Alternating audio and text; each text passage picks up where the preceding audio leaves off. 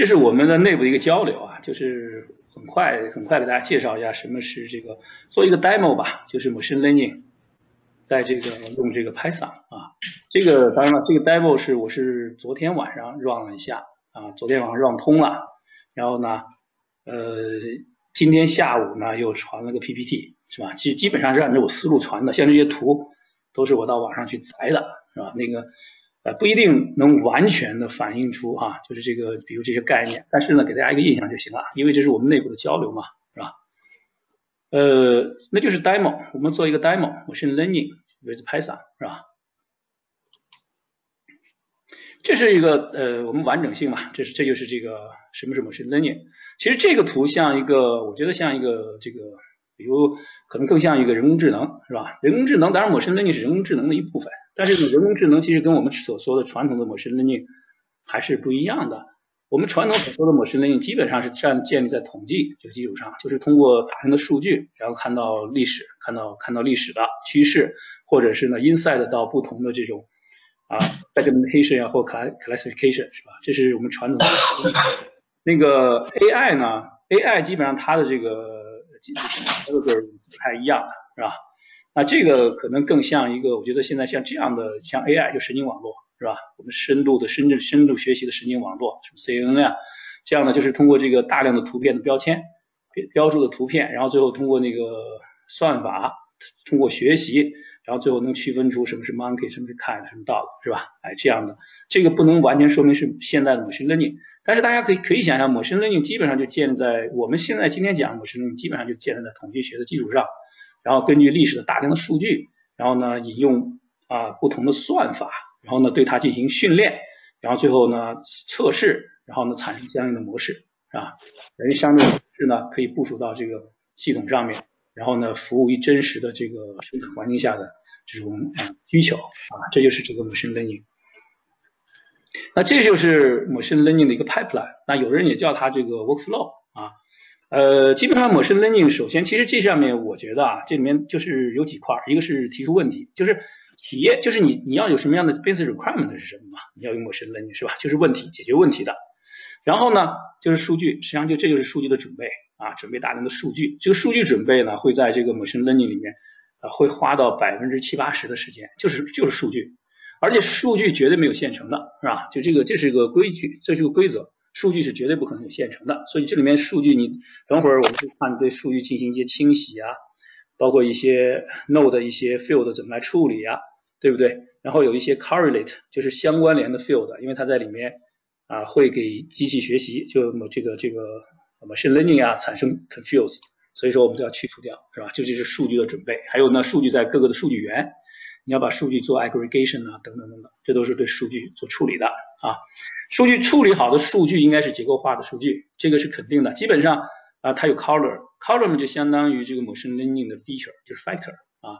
那个 row 呢，就实际上是它的一个个的这个真实的数据了，是它的这个真实的这种啊叫资料是吧？真实的资料，那就是这样的。它基本上我们的这个机器学习。要使用的数据肯定是结构化数据的啊，基本上也不能有 duplication 啊，也应该是那种呃几范式的，就是我们标准的这种啊结构化的这种数据是吧？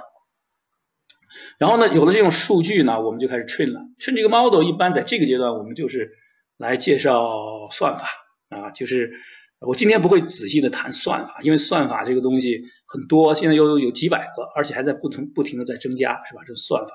啊，那介绍相应的算法，在这个过程中来进行 train，对这个啊 machine learning 就开始 train 是吧？进行 train 之后呢，啊，这这个他说了啊，选选用合适的这种这个 validate，它是 validate，在这里面它是一个反复的过程啊，包括你的算法的选择，包括你数据是否啊健全是吧？它都是一个反复的过程。那你 train 完之后就产生了 model，呃，那就会对它进行测试啊，就是是否它能满足你的要求。那等会儿我看，我们看一下这个 train 的 data 和测试的 data，一般是百分之七十、百分之三十啊，这是一般的业界的一个 standard。然后呢，你你 train 出来，如果是你的测试，就是你测试后你这个 model 是符合你这个啊 target 的 performance 的，那你就可以把它作为你的生产环境下 publish 到你的生产环境下啊，这是一个这是一个例子了。那这个在生产环境下，你看这个生产环境的真实的数据就会到你这个呃 model 里面。来进行呃 feed in 到这个 model 里面，它会产生相应的啊 logic 是吧？产生相应的结果来 trigger 你实际的，就是你的生产运维的，就直接 trigger 你实际生产运维是吧？包括你的推荐呐，包括你的这个产品的推荐，还有这个比如用户消费的趋势等等等等是吧？都是在这里面来做的。所以我在这里面大概总结了一下，就是它一个 pipeline 应该是这样的：有了 issue，有了 question，就是我想解决什么样的 issue 啊，然后那个数据要准备，为了解决这个 issue，我们要做充分的数据准备，还有呢，采用相应的算法进行 train，然后最后测试，然后呢，满足我们的 target 的 performance，我们就可以把它作为一个我们呃完整的一个 model，然后 publish 到我们生产环境下。那这个过程其实这这个一条线其实是个反复的过程，因为你你的这个包括你整个 pipeline。包括从数据的采集，包括算法的应用，包括 train 啊等等等，包括你在 split 你的呃 training 的数据和测测试的数据，这都是一个一个过程啊，都是都需要去不停的优化的，是吧？那当然它的精度越高越好，这就是一个基本的 machine learning 的一个 pipeline 啊。其实，在 machine learning 算法有很多，基本上我们把它分成两大类。那现在在 AI 里面，我们又又又产生另外一类，我们就是这叫。强化算法啊，强化算法。那这个这个现在我们传统的 machine learning 里面就两类，就是 supervised 和 unsupervised。其实在这里面它有很多本不同的定义。其实 supervised 就是它里面你的特征值啊，你所你的特征值包括在它这个数据资料里面的，是吧？你的 factor 和你的特征值都在包括在里面。你就是这这个你你经过你的标注，那你的通过这个 machine learning 的学习呢，就可以根据你标注的数据来产生最佳的模式。这就是 supervised。Unsupervised 的就是其实就是没有你的特征值不包括在里面，其实你不知道它会它会有产生什么样的 out out out 呃 output，你不知道。你比如最典型的 supervised 这样的这个呃算法，那最典型的我们预测房价是吧？预测房价，预测这个这个天气是吧？这都是这个 supervised 啊，很显然，因为你是根据历史数据来预测未来的。那么这个 unsupervised 最典型的，我们比如做 CRM 是吧？然后我们要把这个对客户进行画像，要把这个客户进行分类，叫 segmentation。那这个我们不能预知到，我们要把客户怎么分类，是吧？怎么做 classification？那这种就是典型的 unsupervised 啊，这就是这两个是非常明晰，就是呃特征值在里面的，值就 value 和 factor 都在里面的，feature 都在里面的，我们叫 supervised。我们不知道输出结果的是吧？但是我们有一个，我们希望它做一些分类 classification segmentation 的，这是 unsupervised。是吧？那现在这个 AI 大家还有一个隐患，就是那个强化学习。强现在强化学习很厉害，强化学习这个东西很有意思啊。我给大家介绍一下，它其实就就是一个万能的函数，它你可以把它想象一个万能函数。它定义一个目标，它只定义一个目标值，就是它比如我就要战胜你，是吧？我这个棋类我要战胜你。那它这个学习就是就是它定一个目标值之后，它就是随机的来学习，通过算法。它只是非告的这个，就是相当于我就说一个，你比如定一个万能的函数，就是它经过经过大量的数据的学习，大量算法的学习，就是你的输出，它最后能抓住后面的规律，产生最佳的输输，你的输入产生最佳的输出，这就是那个强化学习。我们在这个比如 Alpha 狗就 AlphaZero，AlphaZero 还是啊，我们我觉得还是 supervised，它是根据我们人类的这个经验啊，就是我们比如有有几百万副这个这个这个棋博啊。对决的这个结果，它是根据这里面的数据来学习的。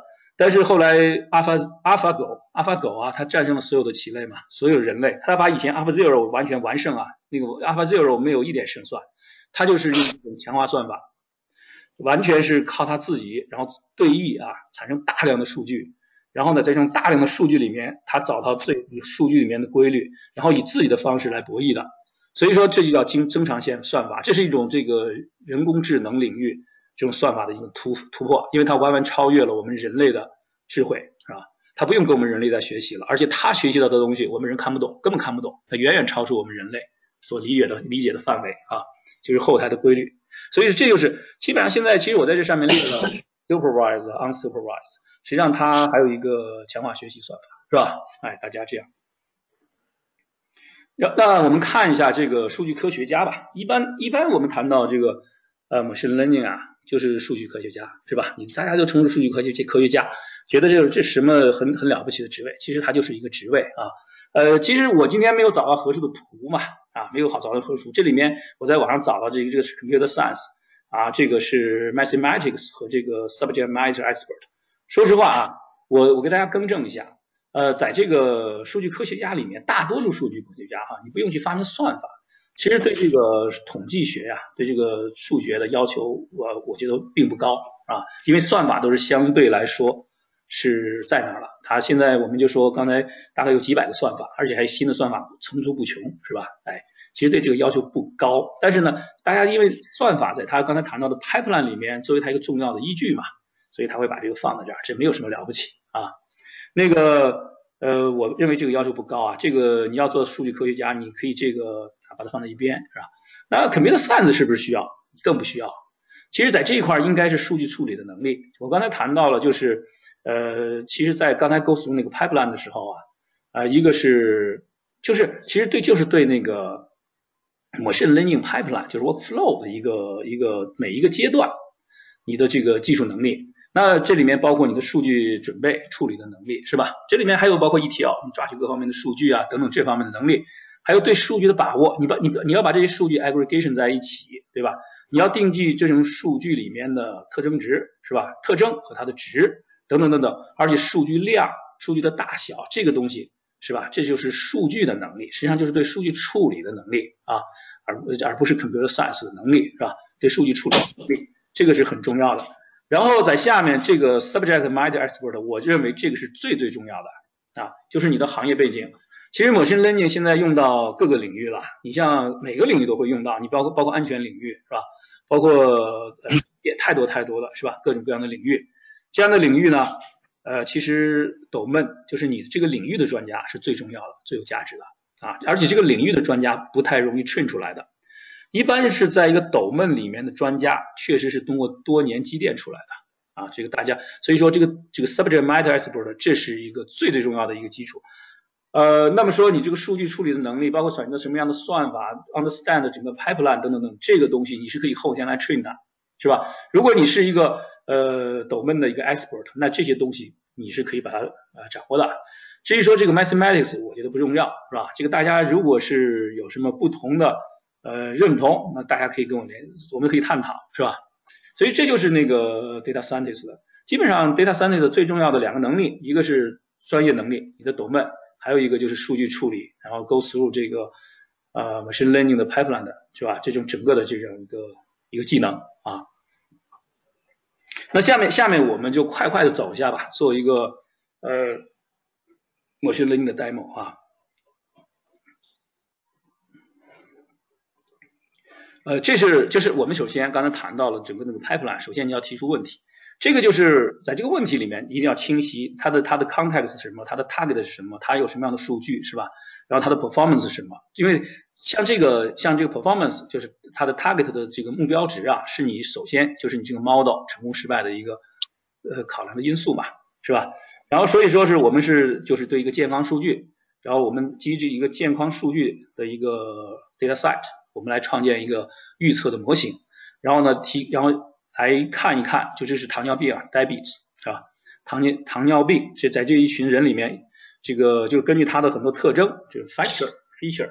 然后呢，产生出这个百分之这个七十或更多的这种 accuracy 是吧？这个这个就是这个准确率要达到百分之七十。就是我们根据那个我们的一区一组 data set，然后我们来看一下，呃，产生这个这一群人根据他的这个输入的就是一行各个特征，它产生的这个可能得这个糖尿病的这个几率是吧？准确率应该达到百分之七十，这就是一个一休的一个。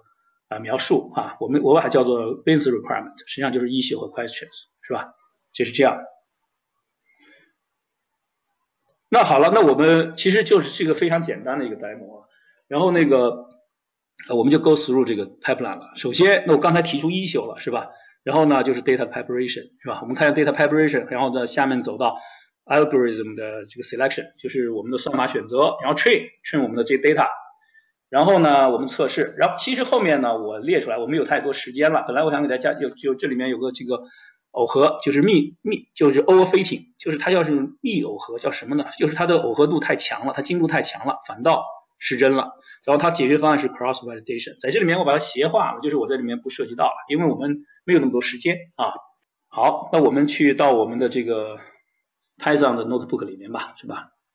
这个今天我只 run 了一遍啊，大家这个我们也许 run 会有问题，没关系的啊，只是把大家把这个过程展了解一下，只给大家介绍一下，是吧？启动我们的 Jupyter，然后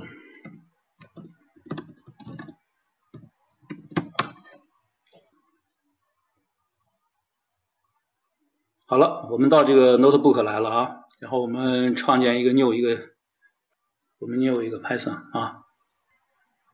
我们命名，我们稍微的标准化一点啊，名字改不改无所谓，machine learning with Python 是吧？machine learning demo with Python。然后呢，其实我们就是一步步来，我们把我们的 library 输入进去啊。然后呢，我们把我们的就是我们的数据文件是吧？我们 load 进来啊，就是把我们的数据集啊那个文件 load 进来是吧？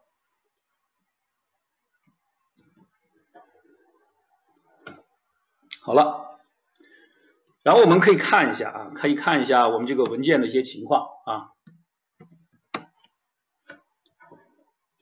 好了，这是大概有十个 feature，就是十个 color，大概有七百六十行，是不是？哎，这是大家一个情况。如果看看文件的结构呢，我们看一下吧，我们看一下前五个是吧？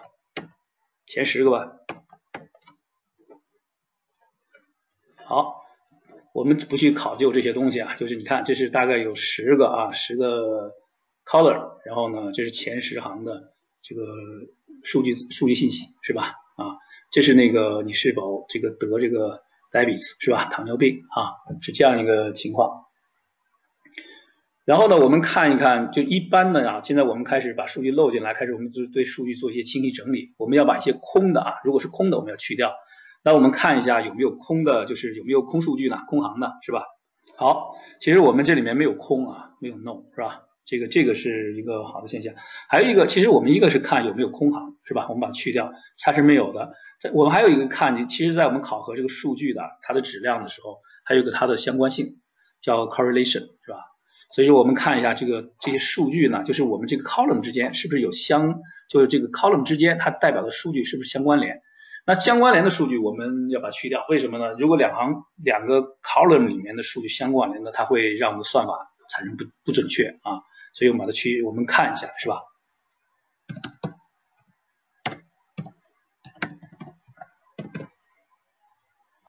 好，我们看一下啊，啊，这是这是这个，我们看一下它的相关性。你看啊，如果是这一行全是一，对不对？因为它是一样的嘛，它是这个这个 column 都是一样的，它显相关性是百分之百。是不是？那我们再看一看有没有像这些相关性就很弱了，零点几、零点几、负零点几，是吧？那我们再看一看这个啊，这个你看 skin 这个是一，是不是？就是它跟呃 thickness 跟 skin 是一，你发现了吗？大家这个相关性是百分之百。那我们再看看这边啊，skin 在这个 skin 哈，这个是相呃相关性是什么解释啊？相关性就是它两个这个 column 里面它的 factor 反映了一个反反映了一个内容。一种内容，只是不同的这种展示的方式，叫相关性。那在这个里面怎么样体现出来呢？呃，这这个你这个就是它的，如果是一，它就是百分百相关。你想这两个是一致的嘛，它就是一嘛，对不对？呃，不是这个。零点几零啊？就是说，从人为的角度来讲，判断如何能判断这两个是相关的呢？呃，其实人为的角度是这样的，他这你这个问题问非问的非常好，他这个一般的是 domain domain domain expert 来看这样东西。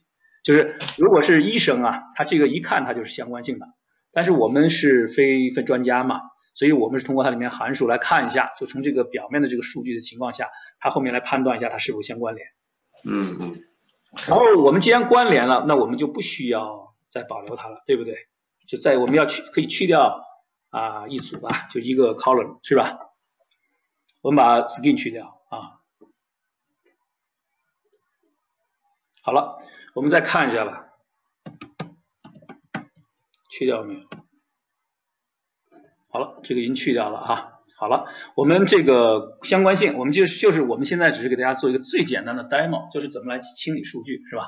把相关的这种 column 我们把它呃简化去掉。然后呢，然后还有一种啊，就是大家看到了吧？这个数据结构啊，在这个 debits 是 true 和 false。这个程序这个在 machine learning 在 train 的时候很麻烦，所以我们会把它，比如我们 true 把它变成一，false 变成零啊。好了，我们看一下啊。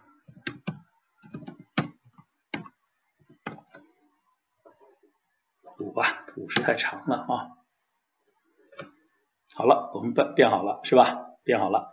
那么说这个时候，我们这个阶段呢，我们算是把这个数据啊，我们就说给大家介绍最简单的这个数据处理的方式是吧？我们把 correlation 的 correlate 的相关的 correlation 去掉，然后呢，我们把这个比如这不是 true 和 false，在机器学习不太认同的、不太不能认知的啊这种呃 test 这种 string string 是吧？string 我们变成零一。那么现在我们开始这个呃这个数据已经 ready 了，我们开始拆分哪些数据呢？呃，有多少数据是要用来 train 的？有哪些数据是用来测试的？啊，这个我们现在来做这件事情。那个 code 啊我们不去详细的看它，是吧？只是在这里面我们通过这个 import 这个 library，然后来对 train 的数据和那个 test 的数据我们来进行拆分。百分之这在这个 test 数据我们占到百分之零点三，这个是一个随机数啊，随机数它就是通过随机的来拆分的，我们给了一个四十二，大家这就这然后这这一段呢，他就把这个 test 数据和 train 的数据百分之七十、百分之三十来进行拆分啊，然后呢这个拆分的这个它是这个我们一般在 machine learning 啊拆分就是我们将我们有几个要求啊，一个是百分之三十作为测试数据，百分之七十。作为呃 train 的数据，还有一个百分之七十和百分之三十，我们需要的 value，我们需要输出的 value 都应该有一定的含量，是吧？不能如果是随机数没有没有给定的好，那么的有你比如这个 true 都都是 true 都是 false，那就就影响了这个 machine learning 学习，它就 confuse machine learning，然后呢产生不精确的输出。呃，我们这样我们看一下拆分的结果，我们大概看一看我们的这个 true 啊 false，包括我们特征值，包括 true and false。它是否分配的合理？哈，好，其实可以看到非常合理，是不是？百分之这是我们拆分好了之后啊，在这个 case 里面，true 是占占到百分之三十啊三十四，然后呢，false 百分之六十五，非常的均衡。然后呢，百分之六十将近百分之七十是在 train 的 data set 里面，百分之三十点零八是在 test set 里面，是吧？然后你看它 true 和它 false 基本上三十四六十五，还有那个。在 training 的 true and false，你看都非常的这个分分布的非常的合理，是吧？三十四、六十五等等等等。所以说我们说明我们这个一个是 train 的数据集和它测试的数据集，我们准备的相对是是完善的。然后我们再去看一下数据吧。好，这个这数据是吧？但是大家会看到这里面有时候零啊，像这个零零这个确确实是呃肯定是有问题的。对吧？像这个零，就是像这样，我不知道这是什么东西啊。但是这个零肯定是没有不代表意义的。呃，一般的遇到这情况会怎么办呢？这是我们在对数据集在做一些 check 是吧？发现有零就是所谓的空数，没有用的数据。一般呢，我们在 machine learning 的时候，一般的这时候的我们如果是 domain 是吧？我们是 domain domain expert，其实我们能需要人为的来填入相关的数据是吧？哎，把这些数据填成填成 meaningful 的。是吧？或者我们取一个权重、中间值等等等等，是吧？这是斗闷的。但是还有一种，就是我们刚才这样，刚才黄教授问的啊，那个什么 correlation，他自己就能判断出来，是，machine learning 他自己能判断出来，它后台的 library。那么在这个里面，我们像这零的这个情况，我们给它一个权重吧，我们就给它一个 mean，是吧？那这个 mean 呢，这个 machine learning 学习的时候，它就会把它啊当成这个一个一个数，反正是它通过学习的时候，它会啊通过算法。来适度的来决定它的权重，是吧？来不影响它的学习进程啊。所以说我们我们给它一个设置一个 strategy 的值，这个 strategy strategy 的值就是 mean 啊，它那个继续学习的这个算法呢，它能认知到它，然后给它填入合适的权重的值啊。好了，那现在我们这个数据刚才数据啊经过数据清洗是吧？然后我们去掉了数据之间相关联的这种 color。然后呢，我们把给它的空，然后做了一些处理，是吧？或者给它零做了一些处理。那现在这个数据是数据，包括那个我们对啊它的 train 的数据和测试的数据，我们百分之七十、百分之三十，而且我们对这个测试的这个 train 的数据和测试的数据里面的 output，呃这值我们也看了，它在一个合理的，因为太稀疏了，当然你的 machine learning 的输出结果就不对了，它学习也不行，测试也不行嘛，是吧？然后那个那现在。我们我们开始选择啊，开始 train 了，我们开始选择合适的算法了，是吧？呃，算法我刚才忘提了啊，这个算法这个这个哎，我刚才没有提呀，哎，这个算法我给漏掉了啊，在这里面啊，算法，嗯，我本来是要给大家提的，其实我们呃算法有好多好多好多种，但是在这个里面啊，我给大家建议啊，就在这里面我漏掉了啊，在这里算法选择我们基本上是 regression 是吧？我们就采用 regression，就是呃 supervised regression 通过 logistic，它这里面有这个呃。naive bay 啊，naive base，我没有列出来忘了啊，还有一个 logistic logistics regression，还有一个 decision tree，它们都是啊属于统计的一种这种啊 supervised 这种算法。那么说我们为了简化是吧？其实我们可以，那么你像这个 naive base，它这个是最简单的，速度最快是吧？但是呢，它适合于简单的一些 prediction 一种预测的模式。那么说那个 logistic regression，那它相对来复杂一些，而且它的精度会高一些。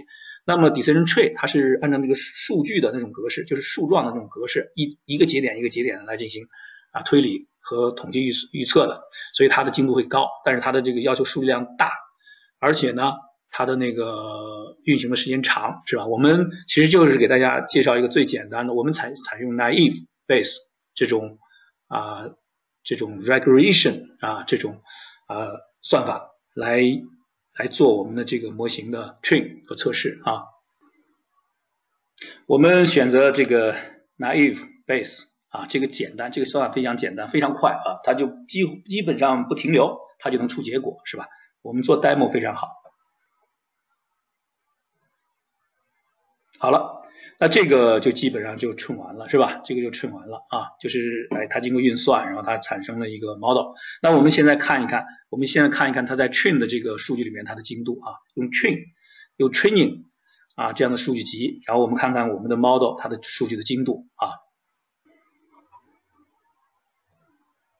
好，这是精度啊，对我们的模式精度，它是百分之七十五。我们刚才我们刚才在这个。Business requirement 做这个 issue question 在分析的时候，我们的 target 的这个精度是百分之七十，也就是说，基于我们 training 这个数据 set 产生的模型，它的精度是非常好的，是吧？那我们看一看，如果是我们的那个测试数据集呢，在里面，如果我们的 model 产生的精度是多少，是吧？好，这我们是。零点七三是吧？五九，基本上是不是？我看看我们刚才的目标是多少哈？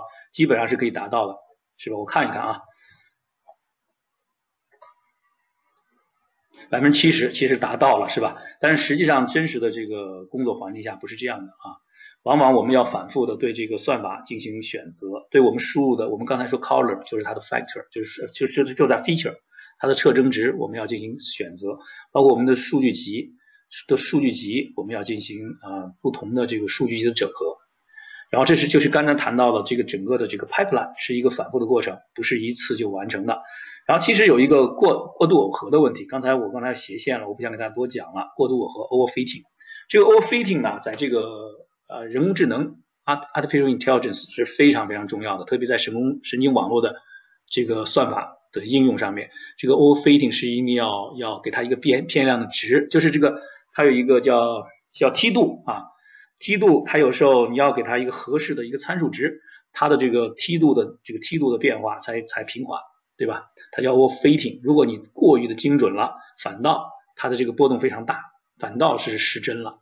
那在在我们的这个 machine learning 里面也一样的，刚才谈到这个算法里面，我们也谈到了 overfitting。在我们真实的环境下，overfitting 我们是要处理的，一般我们叫 cross validation，是吧？这是一种方式。今天在这个上面我就不去讲了，因为今天只是给大家一个非常非常简单的一个 demo，然后给大家介绍一下我们内部的一个交流嘛，给大家介绍一下 machine learning，然后 machine learning 大概的一个情况，它的 pipeline，然后呢做了一个简单的 demo 来预测这个 debit，根据一个数据集我们提供的数据，然后呢 go through 这个 pipeline 来预测出啊这个来产生这个模型是吧？这个那这个现在模型产生之后我们会干什么呢？我们会把这个模型，其实，在真实的环境下，我们要对它优化，是吧？然后再是，然后再返回到整个的一个完整的 life cycle 里面，就在这个我们 go through 这个 pipeline，是吧？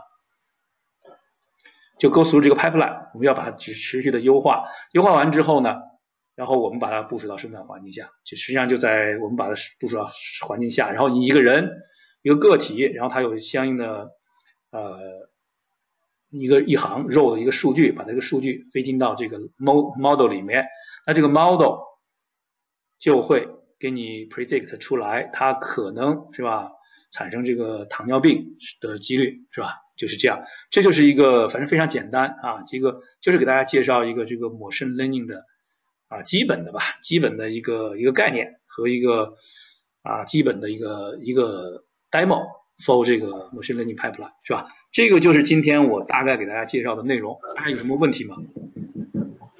呃，杨老师非常好哈，这个不仅介绍这个 machine learning，而且还用 Python 来实现这个 machine learning。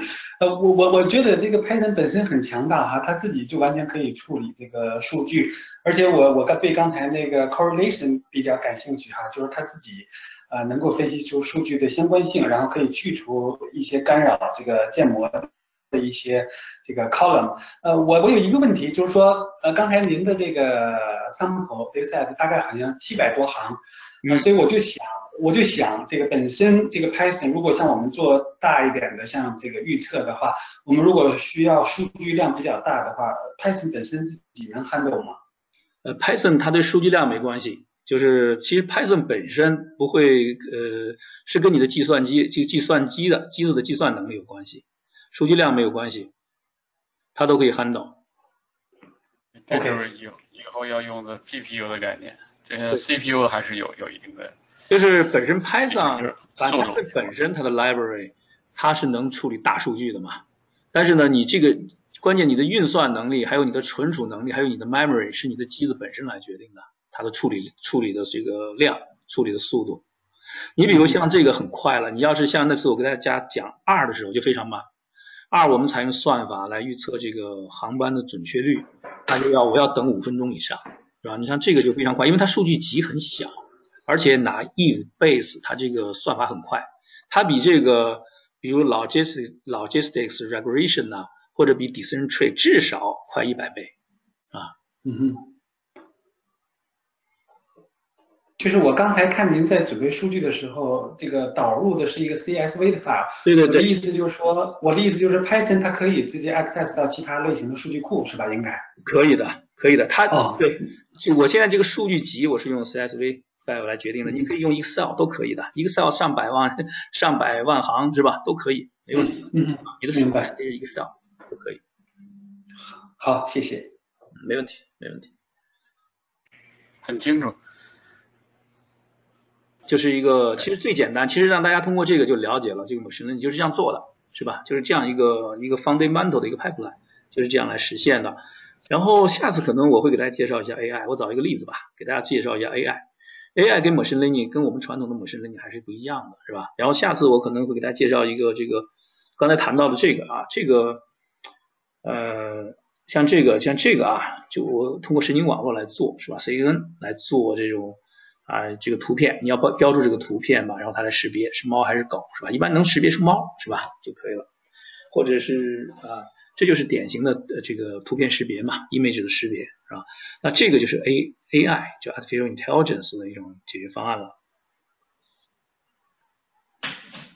现在这个已经很标准，关键很多人建了很多很多的库，所以它 library 就是较慢，但是对，Python 非非常好用，Python 非常好使唤啊。我觉得它的这个 learning curve 很如果你以前做呃程序语言的话。